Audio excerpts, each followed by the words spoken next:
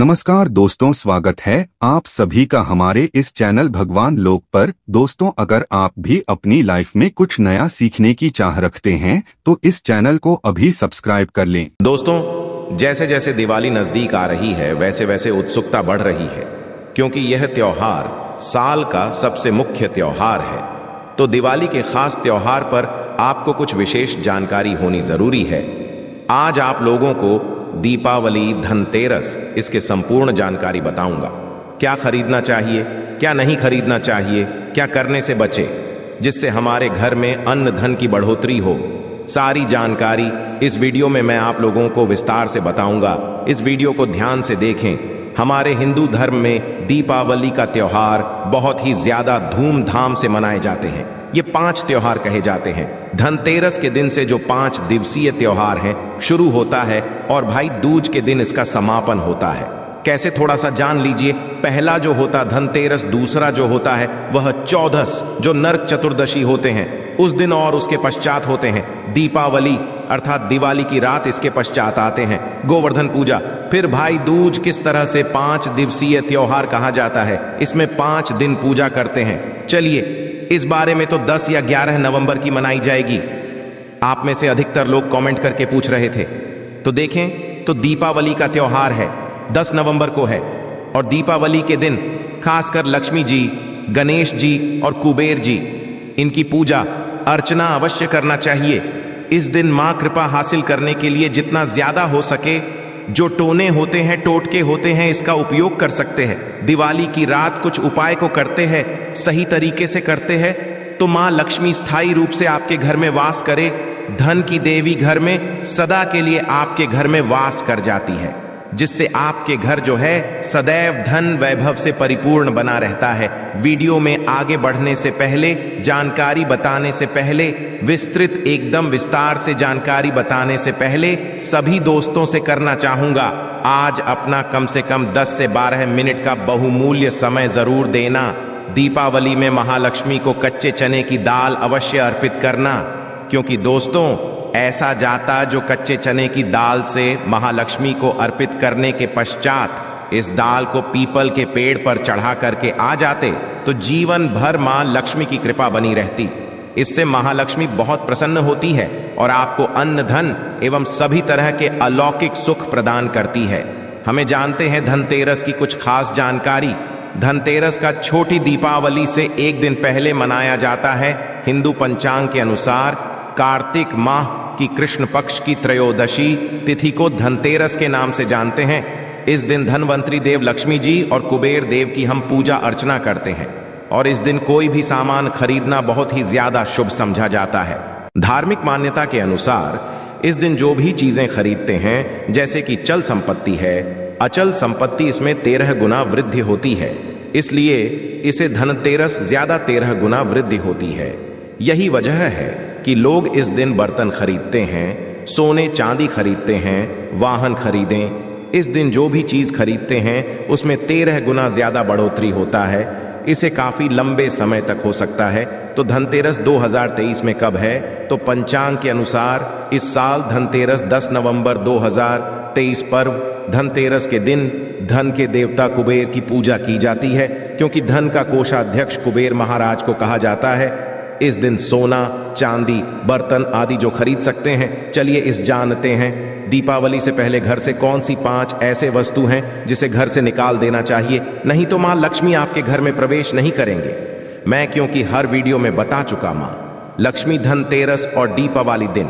हर एक व्यक्ति के द्वार में जाती माम लक्ष्मी और उसकी बहन को लक्ष्मी। यदि अभी घर में पवित्र वातावरण सुगंधित, आपने धूप जला करके रखे आपने अपने घर में गंगा जल का छिड़काव करके रखे तो बिना पूछे, महालक्ष्मी आपके घर में प्रवेश कर जाती है।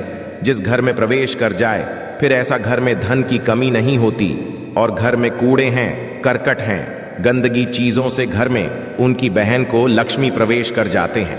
प्रवेश कर जाए तो उनके साथ में दुख, दरिद्रता उनके पीछे पीछे आती है।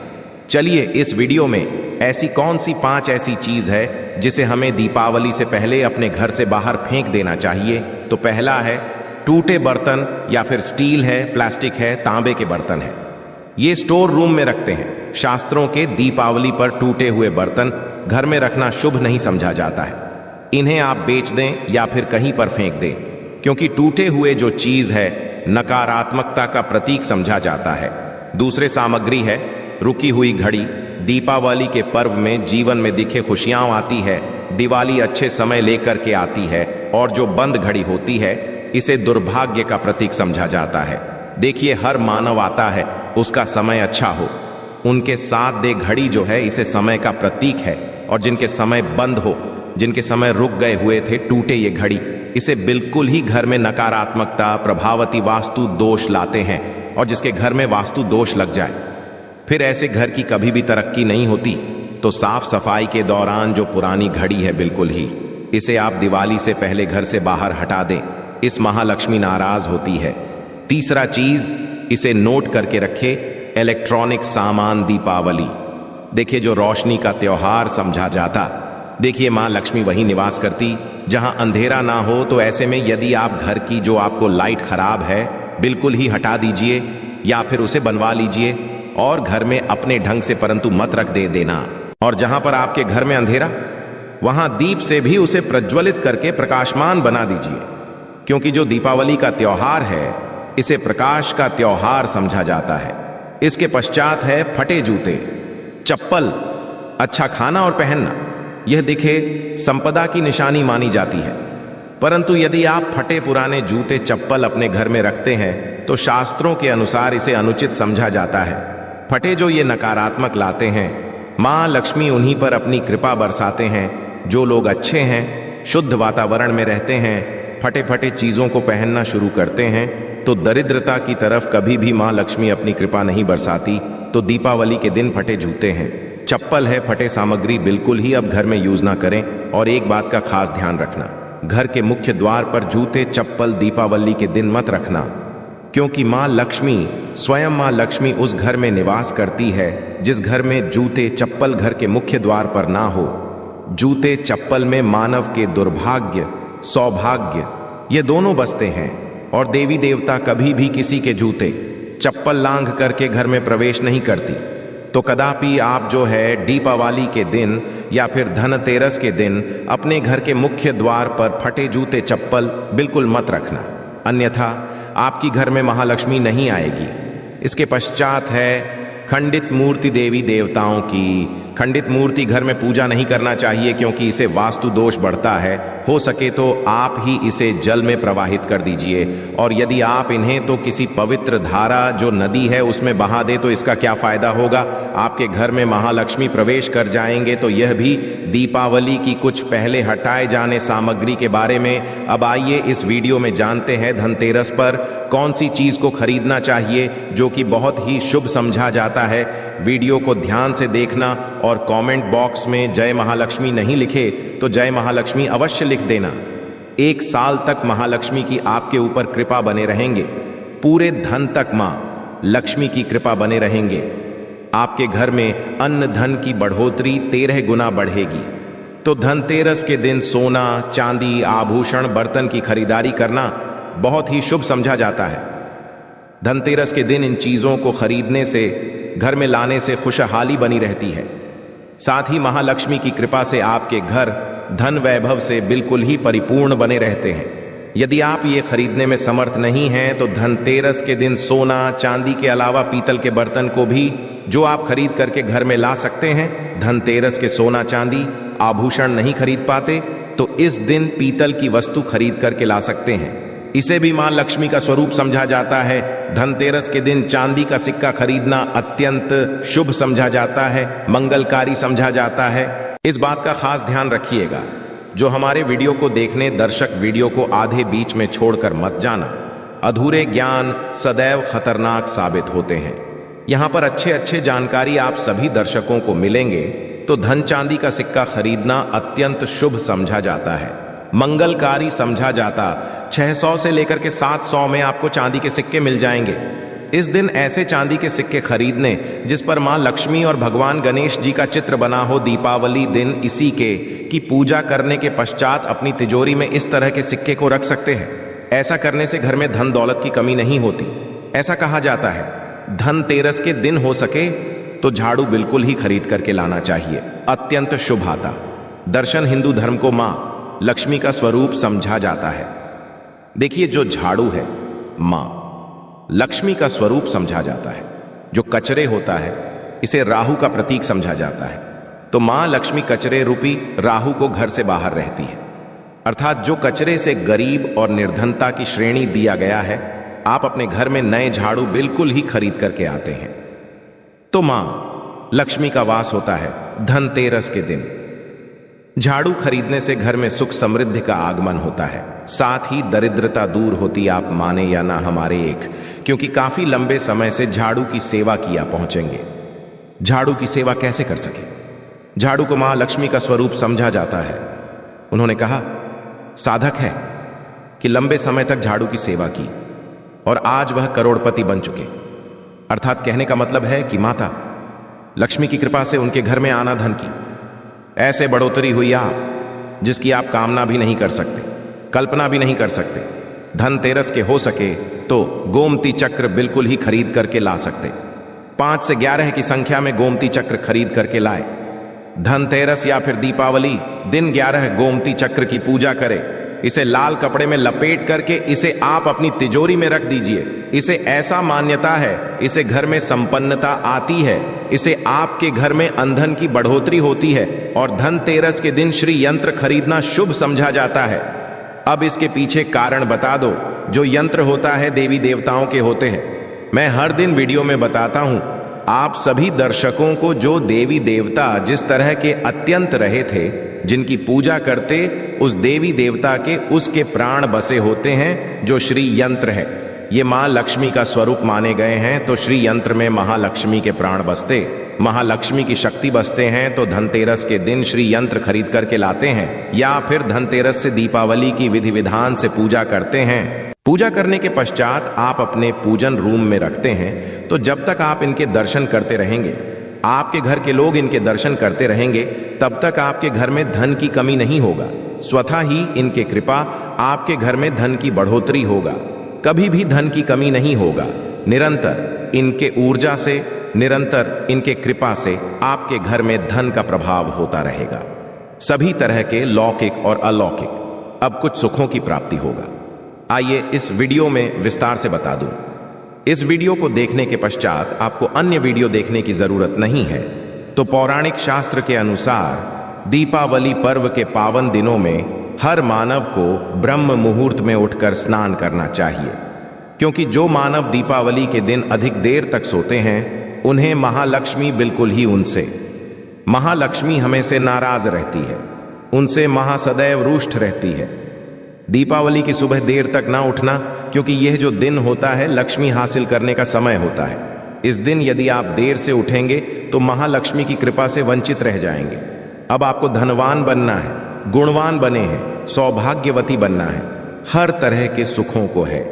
तो इस दिन जल्दी उठेगा, क्योंकि जो मानव समय के साथ चलते समय उन्हीं का साथ देता है तो बिल्कुल ही आप समय के साथ में चलें। और दीपावली दिन खास रूप से अपने माता पिता और घर के बुज़ुर्गों का अवश्य करें बिल्कुल। आप इनका अनादर मत करना। माँ, लक्ष्मी कुपित होकर आप इनका आदर करते तो आपके घर से प्रस्थान कर देगी। क्योंकि जो बुज़ुर्ग देवी देवताओं के अपमान करते तो माँ लक्ष्मी रुष्ट हो जाती है। हो सके। तो इस दिन सुबह उठ करके अपने माता पिता का प्रणाम करे, अपने बड़े बुज़ुर्ग प्रणाम करे। सदा माँ लक्ष्मी को प्रसन्न रहेंगे। और दीपावली दिन घर में गंदगी। जैसे कि कूड़ा करकट पड़े रहेंगे, ऐसे माँ लक्ष्मी नाराज़ होती बिल्कुल। इस दिन आप साफ़ सफ़ाई करके अपने घर का वातावरण पवित्र रख लेना, झाड़ू के इस दिन पूजा कर लेना और इसे उत्तर दिशा में अवश्य रखना। उत्तर दिशा को देवता की दिशा कहा जाता है और झाड़ू को इस दिन पैर से मत लगने देना। इससे माँ लक्ष्मी नाराज़ होती है। बिल्कुल ही झाड़ू को अपने पैर मत लगने देना, क्योंकि झाड़ू को लक्ष्मी का स्वरूप समझा जाता है और आप पैर से झाड़ू को कूद रहे हैं। तो झाड़ू को नहीं, आप माँ लक्ष्मी को कूद रहे। इसे माँ लक्ष्मी कुपित हो सकती है। देखें तो लक्ष्मी माता है। जितना जल्दी प्रसन्न होती है, उतना जल्दी गुस्सा हो जाती। इसलिए लक्ष्मी का स्वभाव चंचलता कही गई है। माता लक्ष्मी कभी भी एक ही स्थान पर लंबे समय तक नहीं नहीं पड़ती।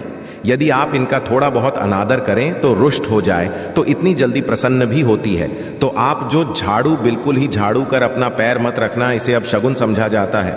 आप लक्ष्मी को मार, झाड़ू को नहीं, बल्कि लक्ष्मी को ठोकर मारे, और जो मानव लक्ष्मी को ठोकर मार दे, लक्ष्मी को अपने घर से भगा दे, फिर ऐसे में गरीब हो जाते हैं। पौराणिक ग्रंथों में कहा गया है, अंधेरा होने के पश्चात घर में झाड़ू इस दिन मत लगाना। दीपावली दिन अंधेरा होने के पूर्व ही घर में आपको बिल्कुल कूड़े कचरे सबको साफ़ सफ़ाई कर लेना। झाड़ू नहीं लगाने और घर में किसी भी दीपावली के दिन घर के किसी भी कोने में अंधेरा मत होने देना। बिल्कुल दीपक के प्रकाश से उस स्थान को प्रकाशित कर सकते हैं। लाइट लगा सकें, अच्छे से बल्ब लगा सकते हैं। इस दिन क्या नहीं खरीदना चाहिए? देखिए जो दीपावली है, धनतेरस है इस दिन कुछ ऐसी सामग्री है जिसे खरीदने से हमारे धर्म शास्त्रों में मना किया कि यदि आप इन सामग्री को खरीद करके लाते हैं तो ये आपके जीवन में दुर्भाग्य लाती। जिस तरह कुछ सामग्री को खरीद करके लाते, आपके घर सौभाग्य लेकर आती है। ऐसे सामग्री है जिसे खरीद करके लाने से घर में दुर्भाग्य लाते हैं। दीपावली, दिन स्टील, बर्तन और उससे बनी वस्तु की खरीद का क्या नहीं लाना चाहिए? इस खरीदने से बचना चाहिए। परंतु लोग जानकारी के अभाव में दीपावली दिन है, या फिर धनतेरस के दिन, स्टील से बने बर्तन, या फिर उससे बने कई जो वस्तु होती, घर में खरीद करके लाते हैं। क्योंकि स्टील में राहु का वास समझा जाता है। क्योंकि स्टील में राहु का निवास समझा जाता है। और जिसमें राहु का वास ना जाए, वह चीज़ों को आप खरीद करके लाते तो आपके घर में बिल्कुल ही कला एवं क्लेश उत्पन्न करती है। दीपावली मुहूर्त खरीद करके नहीं लाना चाहिए।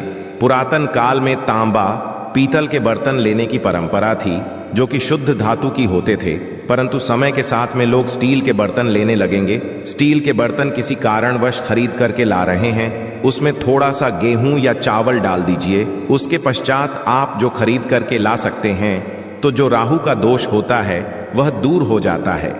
इस बात का आप जो खास ध्यान रखना, इस दिन काले रंग के कपड़े काली वस्तु को खरीदारी मत देखिए।